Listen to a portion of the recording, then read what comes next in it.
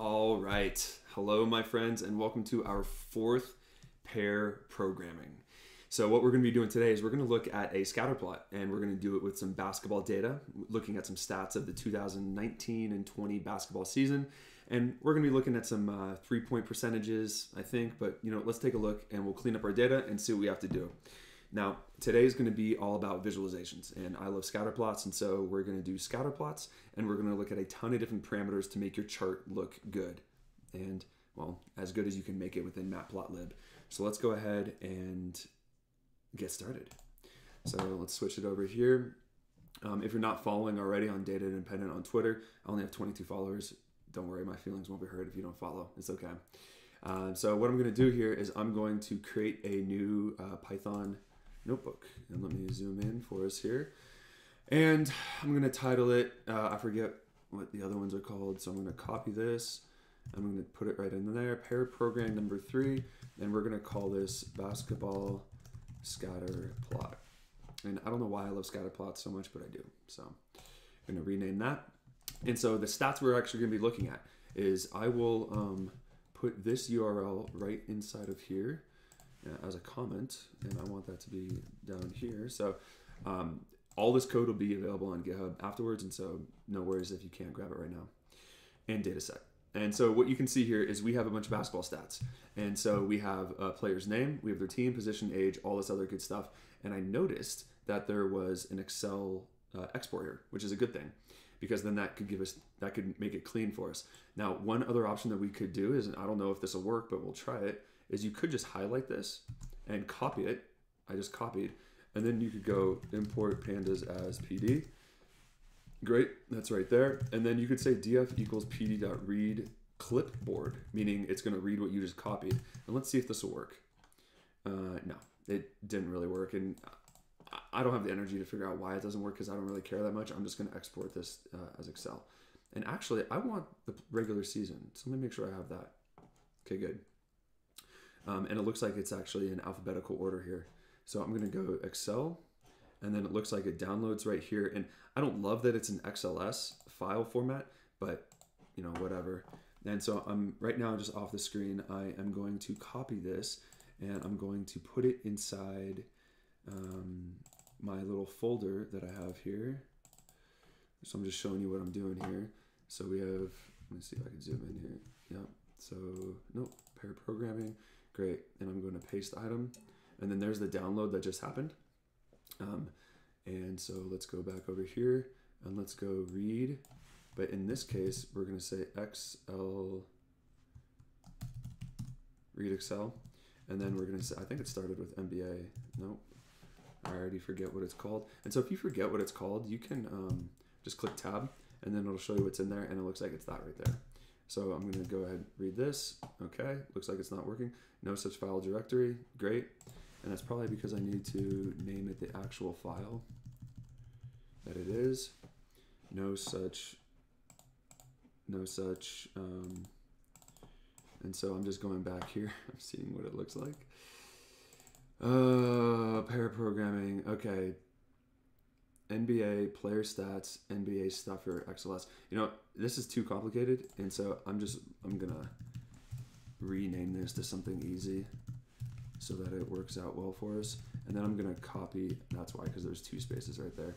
And then I'm just gonna copy that, set it in stone, and then paste that right there. And then there we go. Great. So then let's look at our df.head. Beautiful.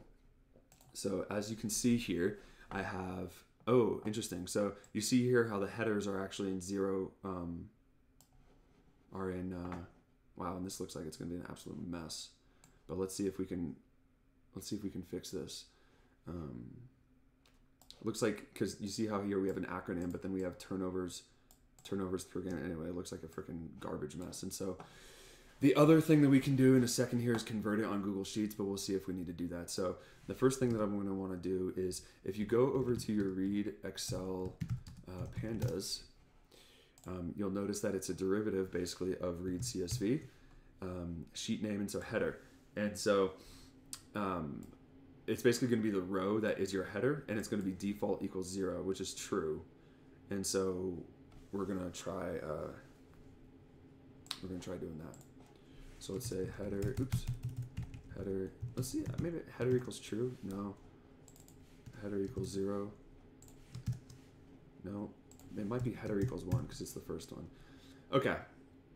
Great. So there we go. Um, it looks like an absolute garbage though. I mean, look at all these different columns. And so, oh boy, one thing that we could do is just rename. And so that's what I think we're to do, um, which isn't the best, but whatever. And so the way that I like to do this is I'm going to go columns. Uh, oops. And so then we have this entire list of columns. And so what's nice is that since it just prints out and this is a list already, I'm going to take this and I'm going to say df columns equals, and then I'm going to say this list of things that we just copied over. But as you can see, we have way more stuff than we need to. And so I'm actually just going to delete all the extra stuff. And so I could probably do this um, by looking at where this like uh, uh, percent sign is, but oh nope, I don't want to. I don't want to do that. I want to do. Um, I want to keep the percent sign because it actually is part of the column name, and so just doing that. If you're watching this uh, recorded later and not live, then you probably want to skip over this part, but whatever. Um, this is called data cleaning. Um, points per game, fabulous. But you know, it's it's actually not such a bad thing because then you get to know your data a little bit better. And who doesn't want to get to know their data a bit better? One of my old data teachers, she said, uh, you got to get um, intimate with your data. So right now I'm just deleting all this, and it's probably easier if I steals per game. Great. And if we need to reference these, we'll just go back to the original turnovers per game. Great. Uh, versatility index is a metrics. Player's ability to produce points, assists, and rebounds. The average player will score about five on the index. All top players score about 10. Okay. So it's like a random derived metric. Everybody loves these derived metrics. And I tell you what, usually only they understand them, but whatever. And so, okay we are there right now. So what I did, as you can see before, we have we have a big long list of, um, you know, we have a big long list of columns right here, and I'm gonna rename this big fat long string columns with these new ones that we just created. And so I just said df columns equals this, and I have a pretty unformatted list. But in order to fix this, you could just you know just clean it up a little bit. I won't remove all the white spaces because that'll take too much time, but um, I'll probably do that before I upload this code. Anyway, so there we have that. So if I were to restart this, I'm going to import my data set. I'm going to rename the columns and let's make sure that it works. And yeah, that looks a whole lot better than it did before. And so I'm going to take this, and because this is kind of like an import step, I'm just going to put it right below my import up here. Um, so that when I load my data set, it's going to rename the columns right away. I like to do this just to reset my data on the beginning. Great. And I see that rank is zero here, so I want to make sure that well, I don't. This looks like it's in alphabetical order, so this rank actually doesn't mean much to me right now. And so I'm actually going to drop that rank column. So I'm going to say df drop rank, and then I think it's axis equals one. Let's try that. And then there it is dropped, and you can see that it was returned to me. And so I need to set in place equals true. Hopefully this works. It does. And there we go. We just dropped it. So in place will, instead of having it returned to you, it's just going to happen right in the very beginning. Um, great, and I see that my little camera here is messing that up a bit more, so let's do that. Fabulous. Um, cool. So, all right, so we, what we want to do is we want to make a scatter plot, and if we're going to make a scatter plot, we're going to need matplotlib. So matplotlib.pyplot as PLT. Um, I've had these import codes like burned into my memory and burned into my my uh, my my fingers because anyway, it's just you always do that. And so I just imported matplotlib. And let's see what would be cool to make a scatter plot of. So we have team, which would be kind of cool to do colors. We have position, which would be kind of cool to do colors again. We have somebody's age, games played, minutes per game. I kind of like the minutes per game, but we'll see it. And then so we have, oh, I mean, I'm sorry, MPG, minutes per game, and then min. I wonder how that's differently, how that's different than um, min, wait, so MPG, minutes per game, percentage of a team's minutes used while player while on the floor. percentage of a team's minutes used by a player while he was on the floor. Hmm. So I think that's just percentage of time on the court for the team, maybe. Whatever. Um, usage total. Anyway, I want to do. I like three points. Uh, I like three point and three point percentage. And so let's start off by doing this. Um, I want to see the three point attempts on the x axis, and then I want to see the three point percentage, meaning how many did they make, on the on the y axis. And so that's going to be kind of cool. And then let's we'll do some size and we'll do some alpha too if we get if we get a hard time. So when you whenever you make a scatter plot with uh, pandas, you have a couple options. You can either, either make your scatter plot directly from pandas, meaning I could go, um, I could go uh, df dot I think it's dot plot dot scatter. Yep, and so you then you could uh, supply an x and a y. But then you're right on top of the data frame. And what I found is you're limited by just a little bit of functionality. And so what I like to do is I like to call the scatter plot directly from matplotlib. And then you kind of have the full flexibility to call whatever you want on top of your data set. And it works just as fine. It's a bit more verbose, but works. Um, okay, so in order to do that, I'm going to say plt.scatter. And so now what plt.scatter needs is if I um, click shift and then tab tab, it'll open up this um, documentation for me, and you see the two required things are X and Y. And you know that they're required because they don't have a default set value. And you know that because it doesn't say equals anything. So let's go ahead and let's do X and Y. So I'm going to make this super explicit here because I want to make sure that everyone understands. We're going to say df three point attempt. Great. And then we're going to say, I like my parameters to line up. We're going to, oops, we're going to say df dot, and then three point percentage.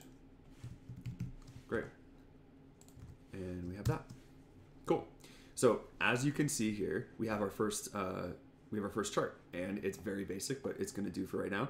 And you'll notice here that we also have this little extra garbage up here. This is just where the um, uh, object sits in memory. If you want to get rid of it, just simply just put a semicolon after your um, command there. And so here we have uh, the different percentages. And so if I were to read this just right off the bat, what does it look like? Well, first I, I want to make it a little bit bigger. And the way that you do that is you do figure fig size equals, and I always get this messed up. I want to make it length and width. I think it's 8 and 12. Say, no, I always mess that up. I, I want to do 12 then 8. So then there we go. So we get a little bit bigger. So what this says is, well, and also, I for, for just a second here, I forgot what was on the X and what was on the Y. So let's add some labels to us. And so plt.x label and so this just means what do you want on the x side? I'm going to say three point attempts. And then there it is right there. And then we want to do the same thing but for y label. And so the y label will um, three point purse. Great. So there we go. And while we're at it, let's go ahead and let's add a title. Um, so we're going to say uh, three point, oops, point attempts versus we'll just say purse. Great. So what this looks like here is it's actually this is actually kind of funny. Um, there's high variability, and so we could do this by looking at the standard deviation for different um, uh, different three point attempt like ranges, but we won't do that. But as you can see here, the people who shoot really low three point three point attempts, they either make none or they make a bunch. Now, this is generally going to happen because um, when you have a smaller denominator, you're going to have a wider range of percentages that's going to um, that's going to come about here. Now, the other thing is you can see here that it starts to trail off, and so it's kind of interesting how there's like an asymptote, sort of. I know it's not technically an asymptote, but it's sort of right around the right below the 40% mark. And if we were to look up uh, Steph Curry three point um, history. Let's just say history so we can look at all seasons. And I hope we go to basketball reference. Great. And so let's go to Steph Curry. And so here I'm going to look at Steph Curry's um, three point. Wow, that's annoying. Maybe I could just see more and then. Wow, that's annoying. Good lord. Okay. Anyway, Wow, they got to make money, I guess. Anyway, um, so if we were to look at his three point percentage, and so 0.43, so you can see Curry here, he's right on the 43, 42% mark. Wow, that is just horrible. Anyway, so that gives us reference on um, how good this is. And if let's just say we wanted to show where Steph Curry his um, general average lands on there, well, let's draw a, a, horizontal line on our chart as well, and that's actually called uh, that's abbreviated as H line. So horizontal line. And um, the way that I like to do this is let's draw it, and uh, you need to first give it a y because you need to tell it where you want it on the chart up and down. And let's put it at 0.43, and then we need to give it an x min equals, and we need to give an x max equals. Because let's just say, for example, we wanted to do it from like 100 to 300 um, on our x-axis. Well, no problem. Matplotlib h lines. Whoops. Um, will do it for us. It'll draw it right there. However, I want it to span the entire um, chart. And so the way that I like to do this is actually programmatically and set it. And so I'm going to say min uh, shot attempts equals, and then I'll call df three point attempts dot min, and then we'll say max shot attempts dot max. So this way, if I load up a new data set from another year, I don't need to go back and hard code these numbers because it's already preset for me. And to show you what this would look like, this is actually going to return an integer for me. And so if I do dot max, you can see the max is 843. And if I say dot min, you can see the min is zero. So this will draw my H line at a um, from zero to 843. And so in order to do that, let's take min shot attempts, put it right there. Max shot attempts, let's put it right there. And so then it draws it across the entire line for us. But the other thing I want to do too is um, this line's a little harsh for me. And so I'm going to say, I think it's line styles, and I'm going to say dashed. And then it'll dash it for me. Great. So now we have Steph Curry. And, you know, let's get actually really, let's get a bit like, bit more complicated here. I'm going to say plt.text. And so this one's actually pretty cool because you can say an X and a Y and an S, meaning um, you can place text on your chart anywhere you want uh, according to an X and a Y. And so I want to do this programmatically as well. And so I'm going to take this 43 and I'm going to say uh, Steph Curry uh, reference. I'm going to say purse because it's being very explicit. 43, I'm going to take that, put that down here. And the reason why I'm doing that is because if I'm using 43 in just one spot, I will just write 43 in one spot. However, if right when I start to use it in two spots, then I'll go ahead and I'll make a variable for it.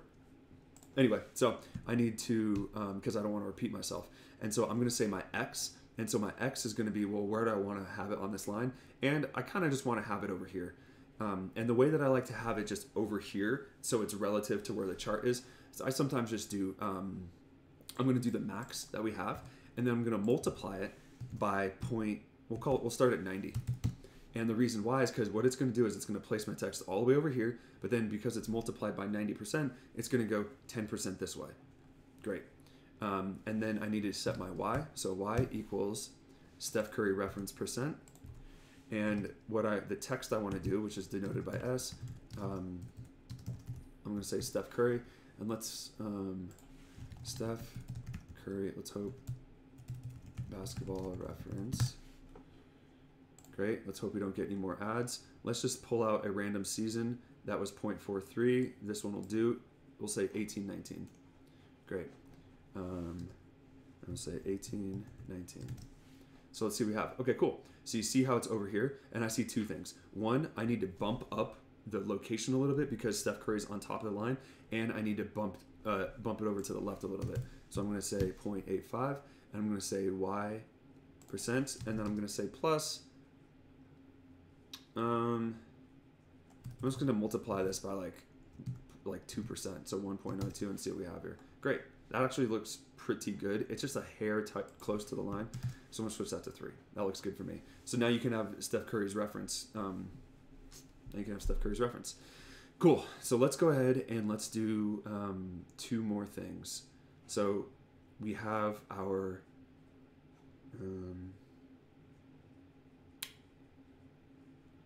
we have our scatter plot with our x and y.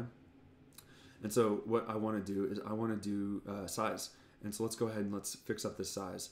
And so size means how big are your, your are your um, are your dots going to appear, and size is denoted by s. And you can either pass a scalar, meaning all this, meaning a single number, and all of your data points are going to be the exact same size, or you can pass a list of values, and that list is going to be the same length as your data frame, and then every single item will be um, have its own size. So, for example, if I were to say size equals 10, we can see here that they all get a bunch, they all get smaller.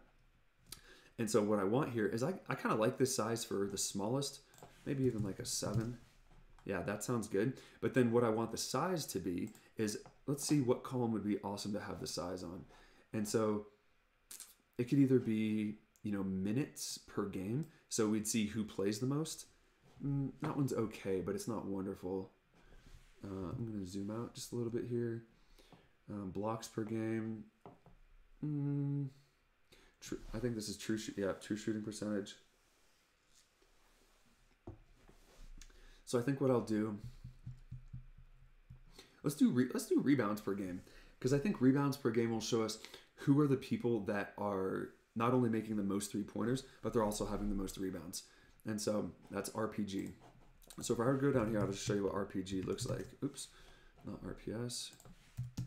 RPG. And so you can see here it's a list of numbers.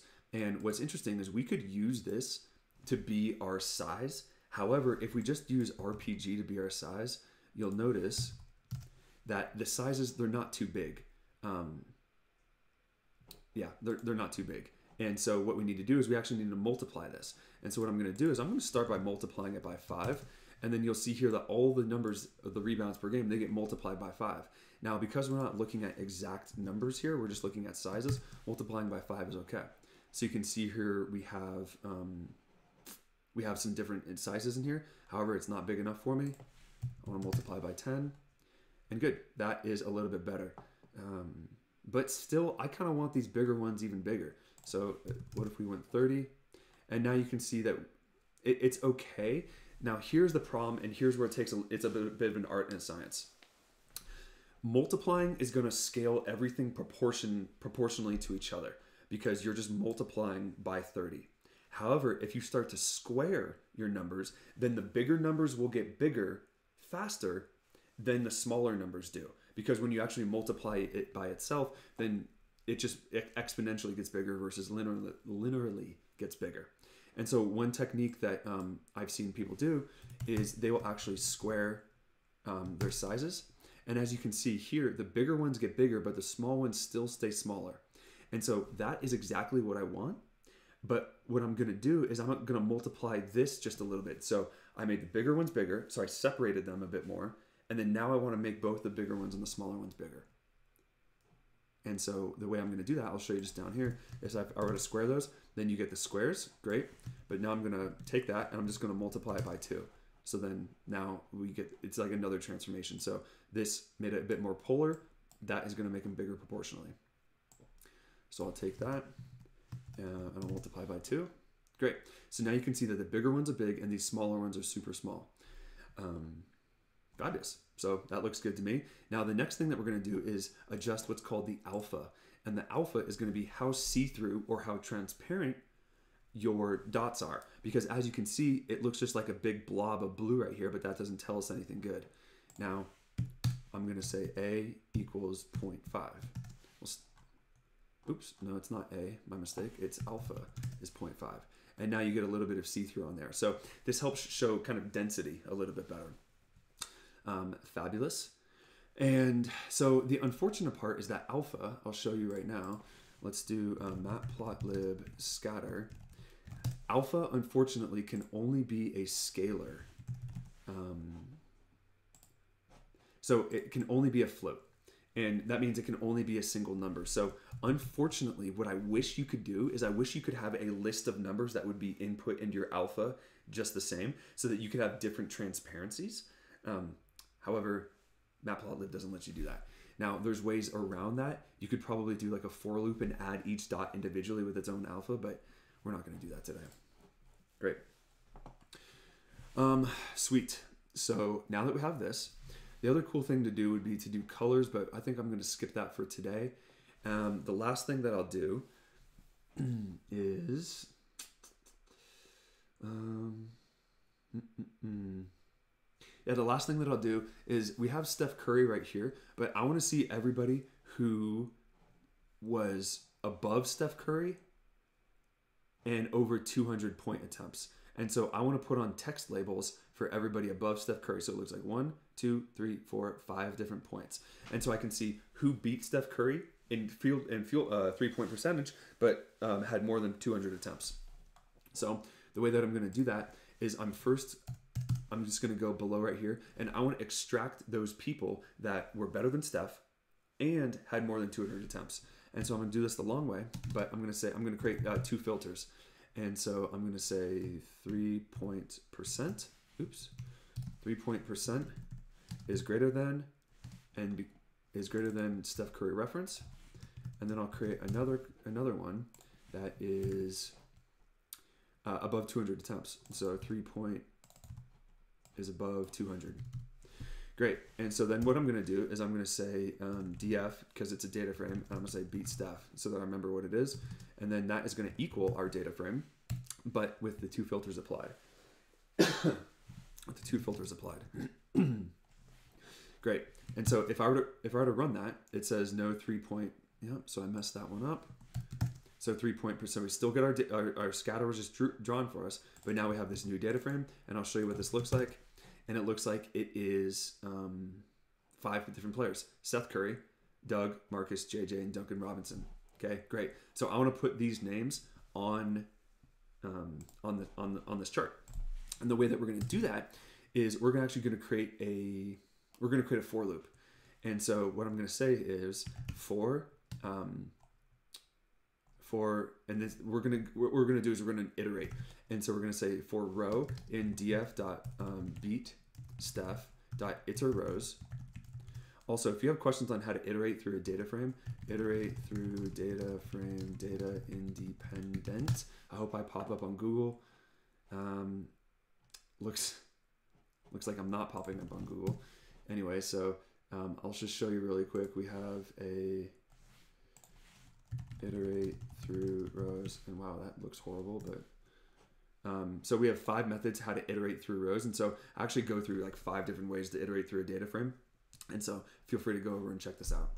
Um, anyway so I'm going to say df uh, uh, for row and df uh, beat Steph dot rows and just to show you what it looks like I'm going to say print row and as you can see what happens is is there's two things that get printed out one is the index, and two is the series that is that row. And so actually, I just want to pull out um, one of them. And so if you say for i in row in df.iterrows, then you'll drop this 183, 138 because you don't need it. And you'll say just print me the row.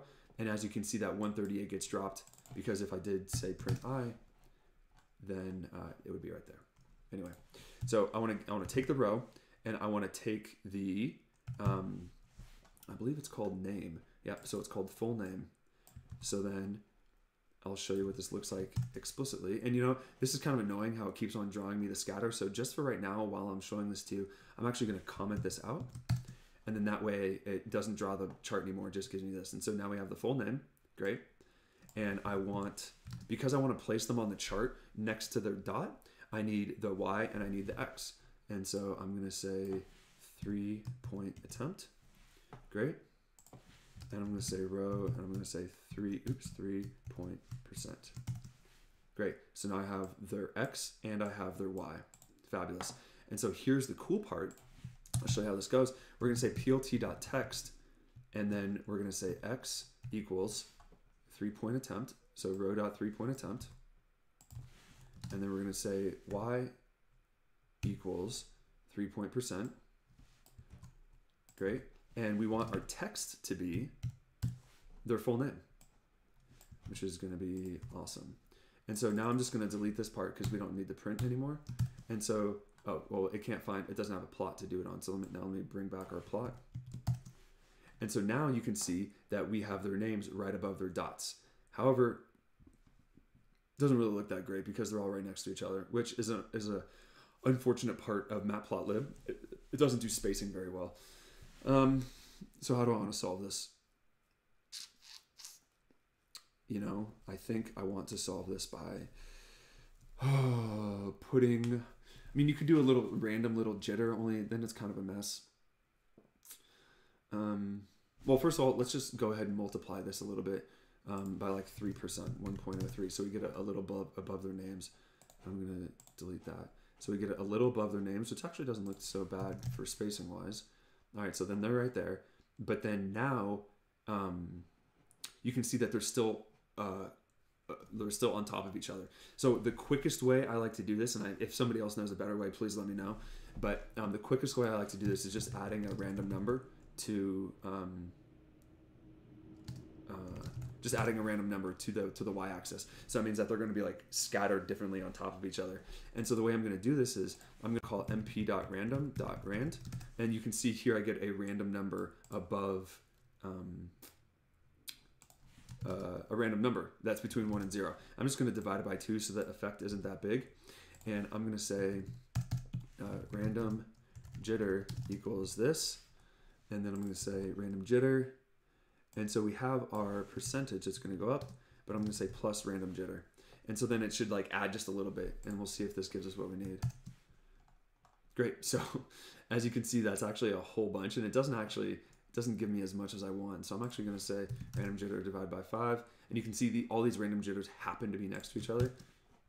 And so let's find, actually, you know what I like doing? I like doing um, random states. And so if you do random state, that means you can get the exact same numbers as me.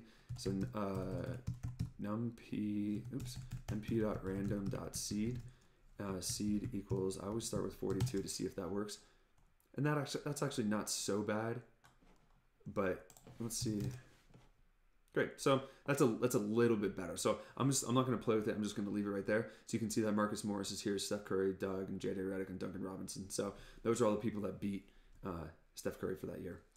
Um, cool. So I think that looks actually not so bad for right now. Um, of course, you'd want to add a legend to this. We're not going to add a legend right now, but if you're presenting this, you'd want to do it. And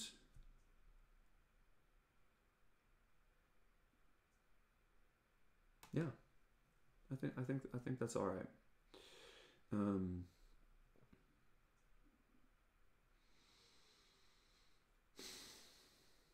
Yeah, I think that's good for right now.